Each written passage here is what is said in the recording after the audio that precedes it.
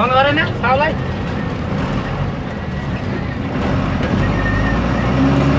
सोध्नु साउलाई फोन गरेर